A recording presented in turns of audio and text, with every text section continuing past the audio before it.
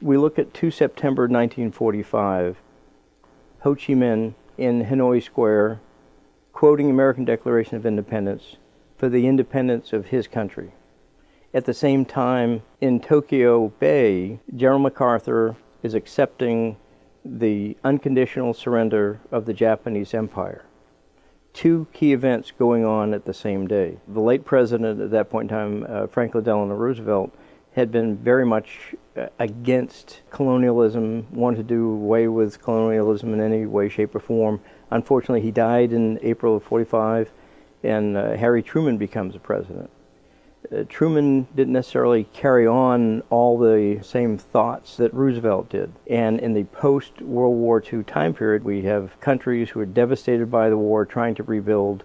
The French are trying to rebuild, and they get their former colonies back, specifically Indochina. And the problem for Vietnam was they're expecting independence, and instead they're put back under a colonial yoke.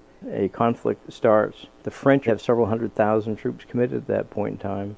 Dien Bien Phu, a big battle. The French lose that, they withdraw, but the leftover is that the United States is fully committed at that point in time. Vietnam is uh, petitioned in two points, and it's part of the Cold War which results.